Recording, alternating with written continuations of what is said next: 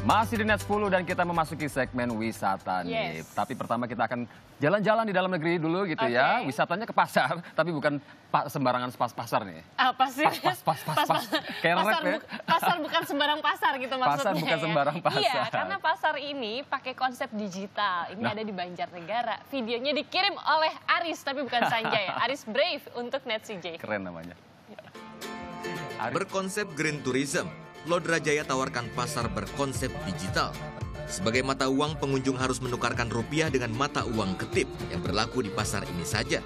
Satu ketip di kurs Rp2.500 rupiah. Nah, datang aja nih ke Desa Wisata Winong, Banjarnegara, Jawa Tengah. Digagas generasi pesona Indonesia, pasar ini menjual berbagai kuliner khas daerah, termasuk produk dari masyarakat sekitar. Seperti cenil, dawet ayu, serabi, bubur, nasi jagung, hingga sego jengkol. Pasar Lodrajaya akan berlangsung setiap minggu dan yang saya kunjungi ini adalah shop launchingnya. Nanti grand launchingnya akan Betul ada sekali. pariwisata Papaya ini. Pasar buka tiap minggu dari jam 6 pagi hingga 12 siang.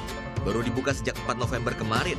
Pasar diminati pengunjung dan puas menikmati jajanan tradisional.